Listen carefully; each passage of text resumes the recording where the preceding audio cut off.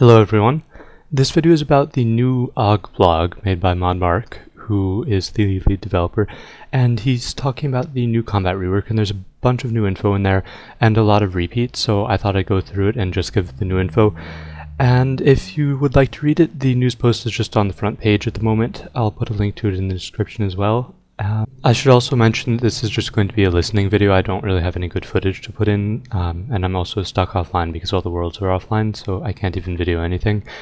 But anyway, here's the info that he gives. So first off, the main thing is the long-awaited combat formula. So we know what the combat level will be now, and the combat level will be your max, your highest level in either attack, strength, range, or magic, plus your defense level plus 2.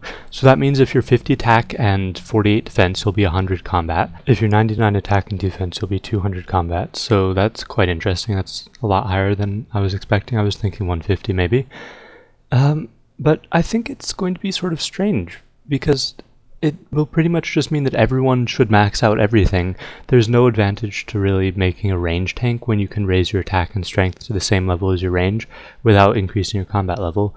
Uh, so I don't really understand how it's going to help specialization. It's, I mean, it's pretty much just making everyone want to max out, which is fine. I mean, it's okay to have everyone max out, I guess, but it does sort of take something away from having different playing styles.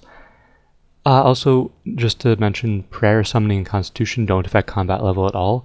I'm a bit iffy on that. I can see constitution because you train constitution when you're training your other skills, so it doesn't really make sense. I mean, it doesn't matter if you have it added to the combat level or not. Uh, I mean, if you're training combat, you'll have the health level anyway. Summoning is sort of the same because if you train on monsters that drop charms, then you'll probably have about the same summoning level as your combat level. So I mean, something's a little bit iffy because once you get to Steel Titans, they can be quite overpowered, uh, especially if you're much lower or if your combat level is misleading. And then prayer, I don't really understand. I mean, I, I see why they did it because I wanted it just to just be a nice even combat formula. But prayer has a huge effect on combat, and it really should affect the combat level. But then again, I guess I could say the same thing about uh, about Herblore, and uh, that's not in combat either. So it's okay. It would only be 12 combat levels. Uh, or, I mean, now it's only 12 combat levels, so it's not even a huge deal. Okay, and then along with the combat levels, they're updating monsters. So monsters, first of all, will have different levels. So stronger monsters will be higher level, and monsters will be given new attack styles, strengths, and weaknesses. There was some mention of the strengths and weaknesses in previous videos, uh, but it's yeah good to reiterate that, I guess. Um, and here's the new main thing, the new main info that's being given out. You will no longer get experience for fighting monsters that are more than 30 levels below you. So if you're 200 combat, well, I, I mean, actually at high combat levels, they said it's a 50 level limit. But uh, pretty much if you're 100 combat and you're fighting a monster that's below level 70, you won't get any experience for fighting it. I assume if you're slaying and you get a low level slayer monster, then you'll probably still get slayer experience. But yeah, probably not combat.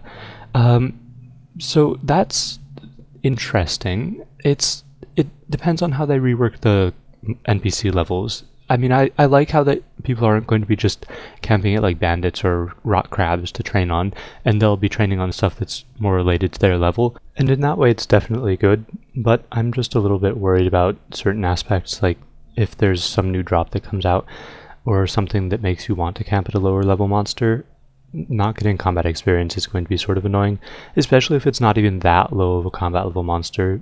It, yeah, I'd rather be getting experience from it, but we'll see how it goes. It's a bit too early to, to uh, judge that. And then a couple miscellaneous things, uh, nothing really major. They said that they're reworking code so that it, it'll be easier to add new updates to things. And then also that prices will fluctuate a lot during the beta. I'm not sure why they had to warn people about that, but I guess if people are completely oblivious, uh, yeah.